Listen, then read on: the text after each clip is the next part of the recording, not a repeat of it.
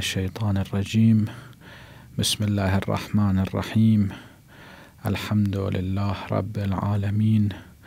والصلاة والسلام على سيدنا ونبينا محمد وآله الطاهرين. ولعنة الله على أعدائهم أجمعين إلى يوم الدين. لا زال كلامنا حول حديث الإمام الصادق عليه الصلاة والسلام في صفات الإمام الذي يختاره الله سبحانه وتعالى. وصلنا إلى هذا المقطع حيث يقول الإمام الصادق اختاره بعلمه وانتجبه لطهره بقية من آدم وخيرة من ذرية نوح عليه السلام ومصطفى من آل إبراهيم وسلالة من إسماعيل وصفوة من عترة محمد صلى الله عليه وآله. لماذا الله سبحانه وتعالى اختار شخصا معينا للإمامة دون غيره؟ الله سبحانه وتعالى لا يعمل شيئا عبثا. فلماذا اختار هذا الإنسان دون غيره؟ الجواب لأن هذا الإنسان يمتلك صفات وتلك الصفات كانت بفضل من الله سبحانه وتعالى عليه. جعلته مؤهلا لتبوء لتبوء هذا المنصب. لأن الله سبحانه وتعالى حكيم ولا يضع الفرد غير المناسب. في المكان غير المناسب. وإنما بحكمته يختار الفرد المناسب للمكان المناسب لأن الحكمة من الإحكام والإحكام يقتضي وضع الشيء في موضعه. فإذا الله سبحانه وتعالى لهذا المنصب العظيم لا يختار إلا شخصا مؤهلا. كيف يكون هذا الإنسان مؤهلا لذلك لأن الله سبحانه وتعالى تفضل عليه وأوجد فيه الصفات التي تجعله مؤهلا لذلك المنصب. تلك الصفات أهمها شيئان الشيء الأول العلم. الشخص الذي يكون واسطة بين السماء والأرض لا يصح أن يكون جاهلا. العقل يقتضي أن يكون ذلك عالما لأن هذه مهمة من أهم الأمور وهذه المهمة لا تناط إلى الجاهل. وقد أشار إلى ذلك في قوله سبحانه وتعالى أفمن يهدي إلى الحق أحق أن يتبع أم من لا يهدي إلا أن يهدى. الذي لا يهتدي إلا أن يهدى يعني الجاهل الذي يحتاج إلى أن يهديه. شخص آخر لكي يسير على الطريقة الصحيحة. هذا هو الأحق. أم الذي يهدي إلى الحق؟ طبعا الله سبحانه وتعالى علمه. صار عالما فيهدي إلى الحق. هذا أولى من غيره. في آية أخرى الله سبحانه وتعالى يقول هل يستوي الذين يعلمون والذين لا يعلمون؟ فالإمام يمتلك الصفة الأولى وهي العلم بإفاضة من الله سبحانه وتعالى له. الشيء الثاني الإمام يمتلك صفة العصمة لأن هذا المنصب المهم. كون الإنسان واسطة بين السماء والأرض يقتضي أن لا يعصي لأنه إذا يعصي يمكن يبين الأحكام خلاف الواقع. فيكون قد خدع الناس بالعصيان. والله سبحانه وتعالى يريد أن يهدي الناس لا يريد أن يضلهم. نعم إذا واحد رفض الهداية فالله يتركه وشأنه فيضل.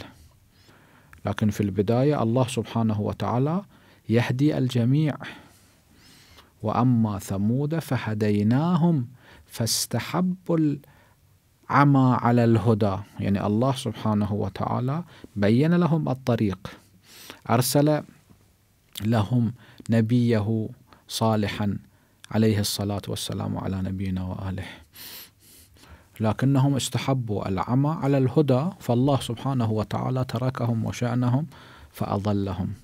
لكن الله سبحانه وتعالى في البداية هداهم بواسطة نبيه. هذا النبي معصوم. لأن الله يريد أن يهدي الناس. فمو معقول أن هذا النبي يعصي فيبين للناس خلاف الواقع. وكذلك معصوم من الخطأ. يعني كما هو معصوم من العصيان معصوم من الخطأ. زين يمكن واحد لا يعصي إنسان متقي.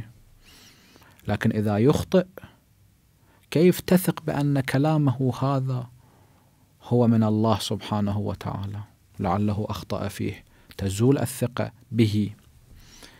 والله سبحانه وتعالى حينما يريد هداية الناس يجعل الطريق الذي يوصلهم إلى الهداية أو يوصل الهداية إليهم إن شاءوا قبلوا وإن شاءوا رفضوا.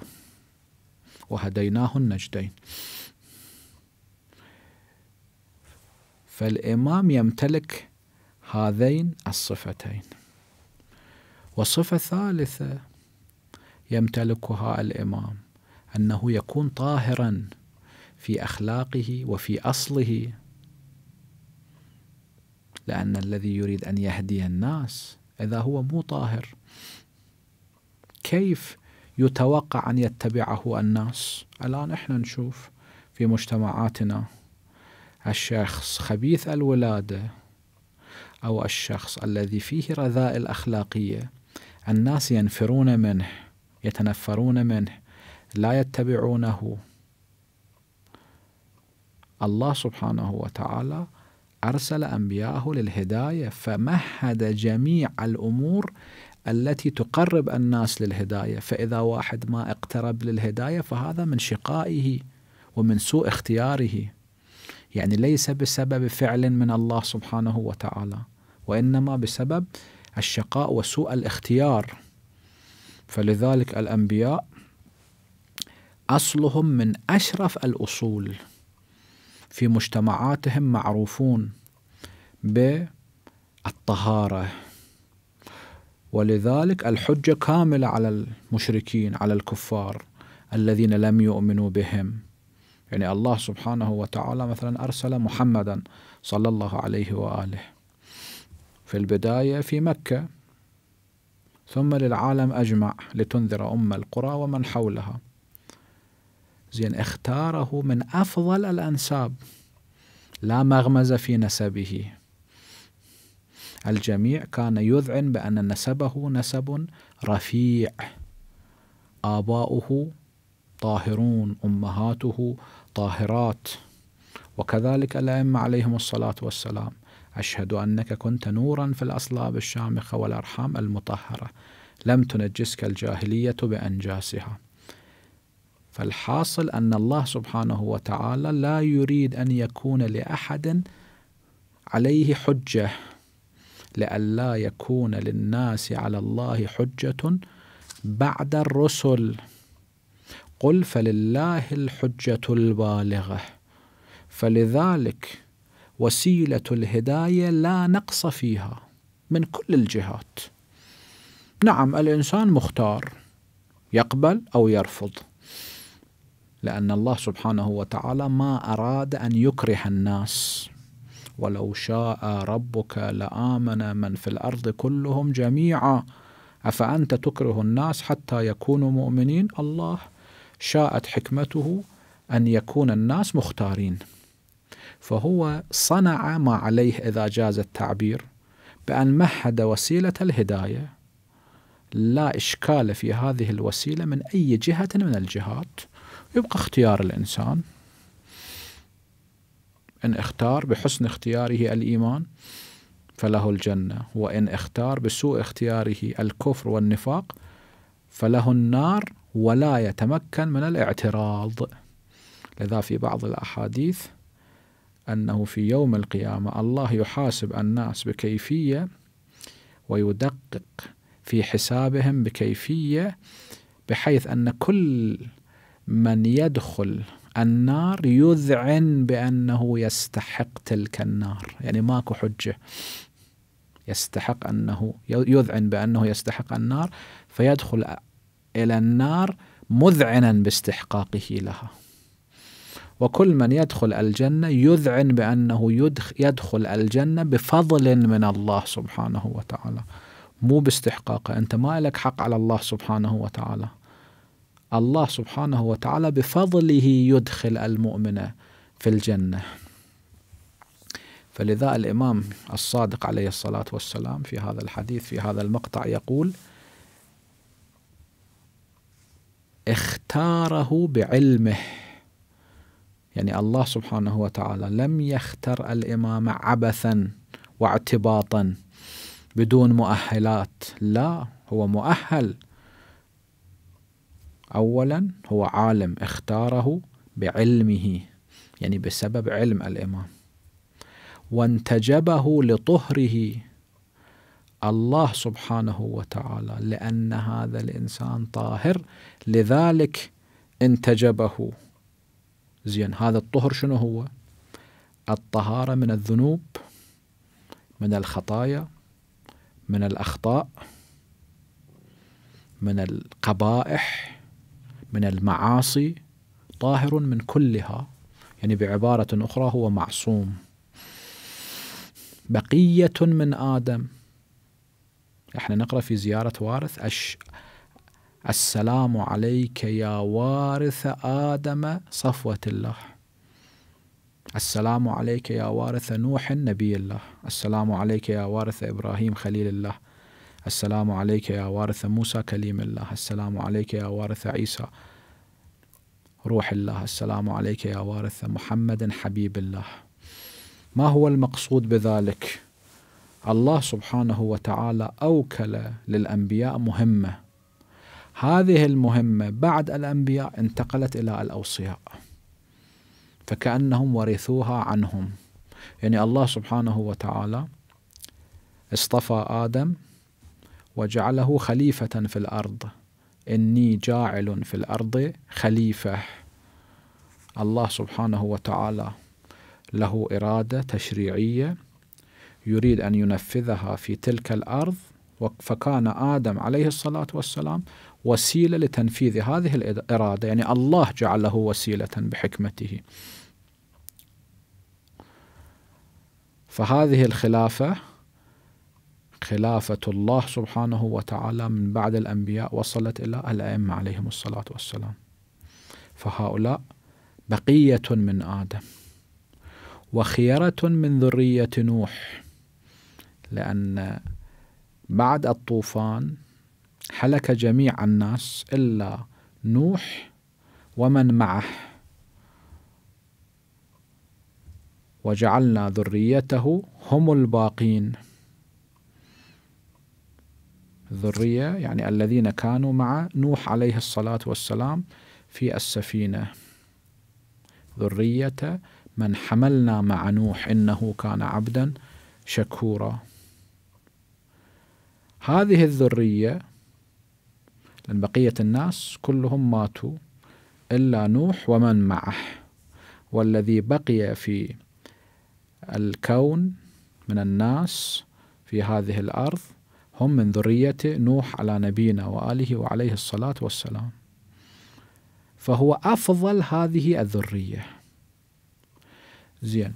إبراهيم عليه الصلاة والسلام وآل إبراهيم أن الله اصطفى آدم ونوحا وآل إبراهيم. المصطفى من آل إبراهيم. يعني الذي اصطفاه الله سبحانه وتعالى وطهره من جميع الشوائب. وسلالة من إسماعيل. السلالة بمعنى أخذ صفو الشيء برفق.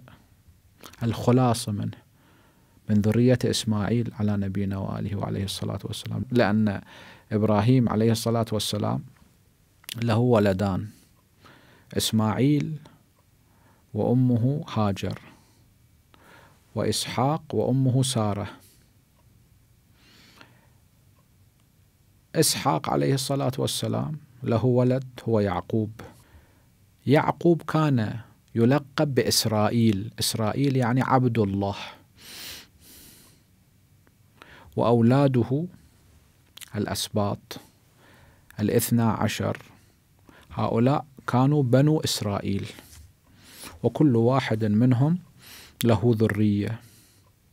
وفيهم الأنبياء والمرسلون. آلاف الأنبياء بعثوا في ذرية إسحاق من بني إسرائيل. في بعض الأحاديث أن الأنبياء المرسلين ثمانية آلاف أربعة آلاف منهم في بني إسرائيل وأربعة آلاف في سائر الناس. طبعا هؤلاء الأنبياء المرسلون ثمانية آلاف. لكن الأنبياء غير المرسلين هؤلاء بقية المية وأربعة وعشرين ألف نبي. مية وأربعة وعشرين ألف نبي عندنا كما في بعض الأحاديث منهم ثمانية آلاف نبي مرسل ومن هؤلاء نصفهم يعني أربعة آلاف من بني إسرائيل. وأما إسماعيل فهو كان نبيا لكن ليس في ذريته نبي إلا محمد صلى الله عليه وآله.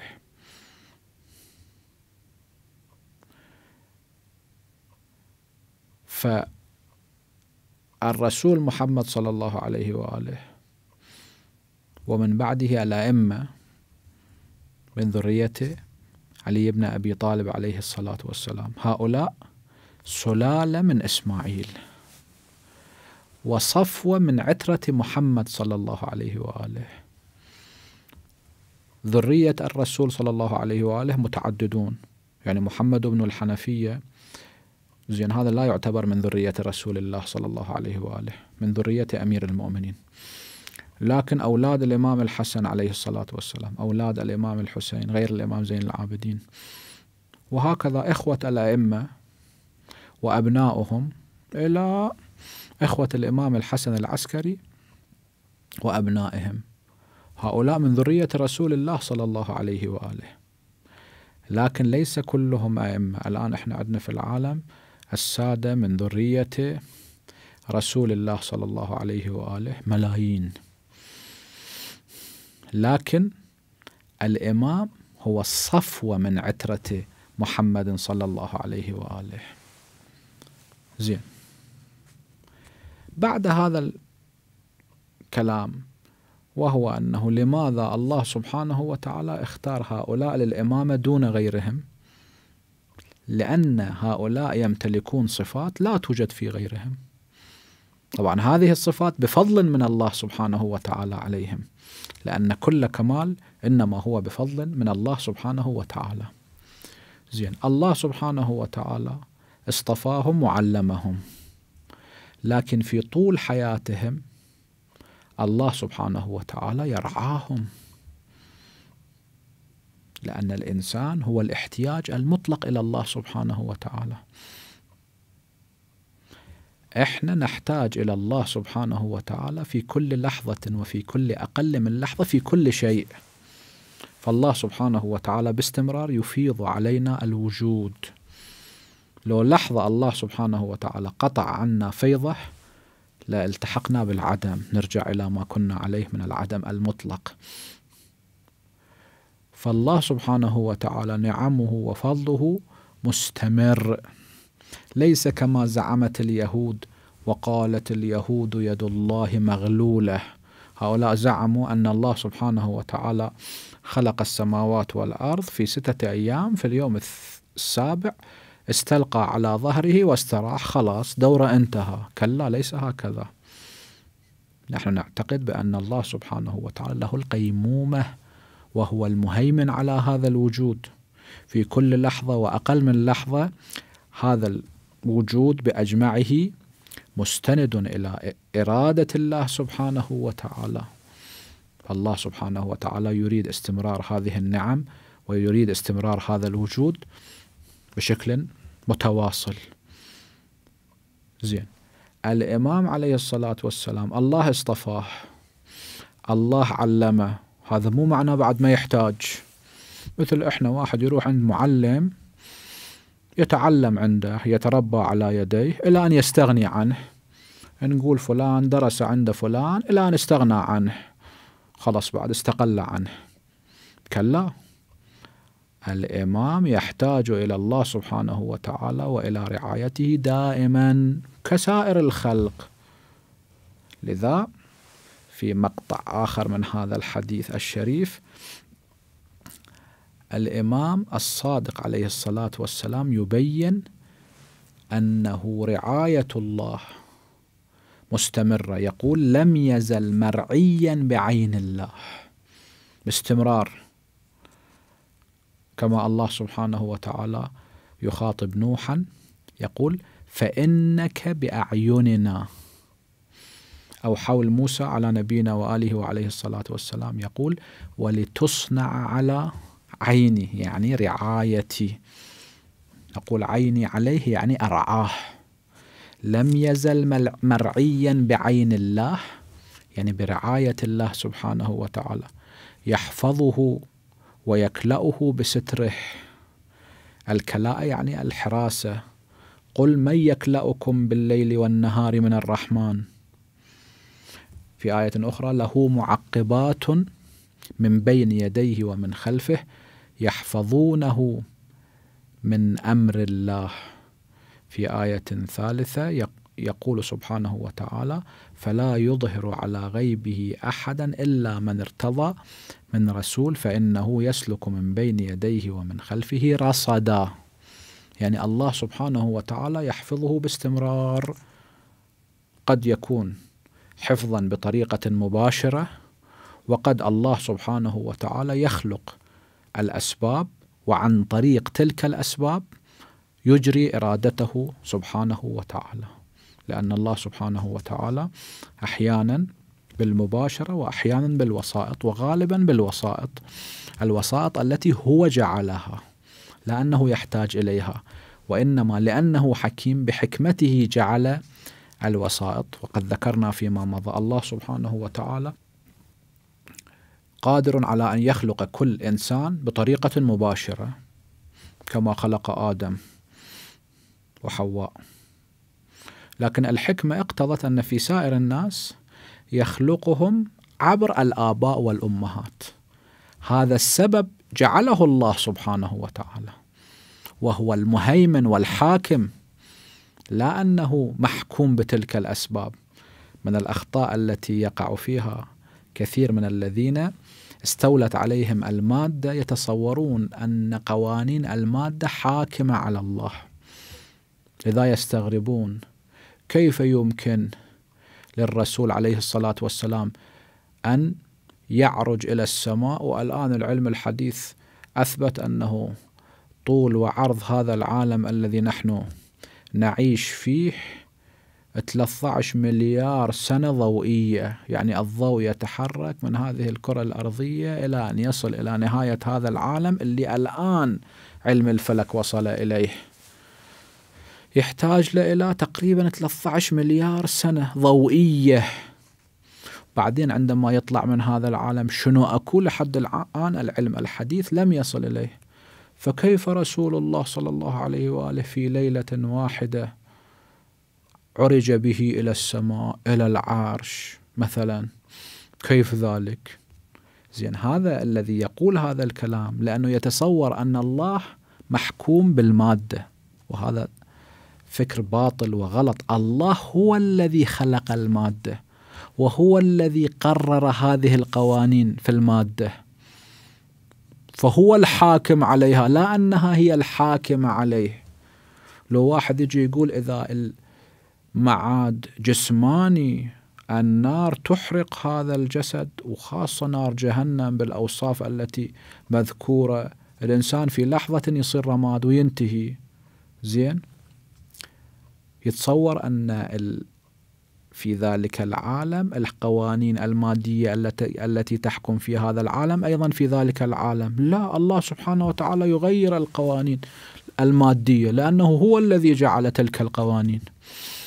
لذلك كلما نضجت جلودهم بدلناهم جلودا غيرها ليذوقوا العذاب. في آية أخرى يقول ويأتيه الموت من كل مكان وما هو بميت. القوانين جعلها الله سبحانه وتعالى فالله يغيرها كما يشاء. ولذا نار إبراهيم الله سبحانه وتعالى لم يغير حقيقتها بقيت نارا. مو أنه صارت شيء آخر لا هي نار لكنها لا تحرق إبراهيم بجسده. هذا الجسد الذي تحرقه النار حسب القوانين المادية الطبيعية. لكن الله سبحانه وتعالى غير هذا القانون في قضية إبراهيم عليه الصلاة والسلام. مع أنها نار مع أن جسم إبراهيم بقي جسما مع أنه لم يجعل حاجزا بين تلك النار وبين جسم إبراهيم جعل النار بردا وسلاما عليه. القانون غيره. وهكذا في سائر معاجز الأنبياء البعض يستغرب معاجز الأنبياء يقول هذه خلاف قوانين الطبيعة. نعم خلاف قوانين الطبيعة بس شنو المشكلة؟ هاي قوانين الطبيعة من جعلها؟ من قررها؟ من قدرها؟ من جعل العلية والمعلولية بينها؟ لا كما يقول الفلاسفة أن هذه باقتضاء الماهيات ولا يعقل انفكاك ال... هذه الأمور عن الملزومات عن لوازمها يصير انفكاك الذاتي عن ذاته. ليس هذا الكلام على إطلاقه صحيح. وإنما الله سبحانه وتعالى جعل هذه اللوازم وهو الذي يسلب هذه اللوازم إذا شاء. فلذلك الله سبحانه وتعالى يحفظ الأنبياء يحفظ الأئمة فيضه عليهم مستمر وباستمرار هذا الفيض موجود ويحفظهم ويكلأهم وهم ينفذون ما يريده سبحانه وتعالى باختيارهم. في الحديث الشريف إن الله أدب نبيه بآدابه ففوض إليه دينه لأن النبي مؤدب بآداب الله ولا يخرج عن دائرة إرادة الله سبحانه وتعالى ويعلم إرادة الله سبحانه وتعالى فالله سبحانه وتعالى فوض إليه التشريع لأنه لا يقرر ولا يشرع قانونا إلا حسب ما يريده الله سبحانه وتعالى. فإذا يقول لم يزل مرعيا بعين الله يحفظه ويكلأه بستره. مطرودا عنه حبائل إبليس وجنوده. الشيطان يقدر يغره يقدر يخدعه كلا هو شيطانها من اليوم الأول كان يدري. ولا. لأغوينهم أجمعين إلا عبادك منهم المخلصين بفتح اللام المخلص وهم الأنبياء والأوصياء. يعني الشيطان يعلم بأنه لا يتمكن من إغواء العباد المخلصين. ولذا في اليوم الأول حينما رفض السجود لآدم واستكبر عن أمر الله سبحانه وتعالى واستمهل الله سبحانه وتعالى أمهله لأن الله خلق هذه الدنيا للامتحان. ومقتضى الامتحان اختيار الإنسان بحيث تكون وسائل قبول الإيمان متوفرة ووسائل قبوله للكفر أيضا متوفرة. زين من وسائل قبوله للكفر الشيطان. الهوى النفس الأمارة بالسوء. ومن وسائل قبوله للإيمان الفطرة العاقل الأنبياء والرسل. وهكذا صار وهديناه النجدين. لكن بالنسبة إلى الأنبياء والأوصياء الشيطان يعلم بأنه لا يتمكن من فعل شيء لأنهم معصومون. طبعا هو خبيث لا يترك محاولاته. لكن يائس أكو في حديث أنه قيل لرسول الله صلى الله عليه وآله انت هم أيضا هناك إبليس مخلي لك شيطان حتى يغويك؟ ما معناه؟ قال نعم إبليس مخلي لكن شيطاني يائس يعني الشيطان الذي كلفه إبليس لإغواء النبي صلى الله عليه وآله هذا الشيطان يائس هو موجود لكن يائس يدري أنه ما يقدر يسوي شيء. مطرودا عن حبائل إبليس. حبائل جمع حبالة بمعنى حبل الصيد. إبليس وجنوده يعني أعوانه كما في الآية الشريفة وجنود إبليس أجمعون. هؤلاء كلهم مصيرهم إلى النار. هؤلاء لهم حبائل يعني شراك الصيد شبكة الصيد. لكن الإمام ومن قبله النبي صلى الله عليه وآله مطرود عنه. هذه الأمور لعصمته بلطف الله سبحانه وتعالى ورعايته. وللحديث تتمة نتركها إلى حلقة قادمة. هذا وآخر دعوانا أن الحمد لله رب العالمين وصلى الله على سيدنا ونبينا محمد وآله الطاهرين.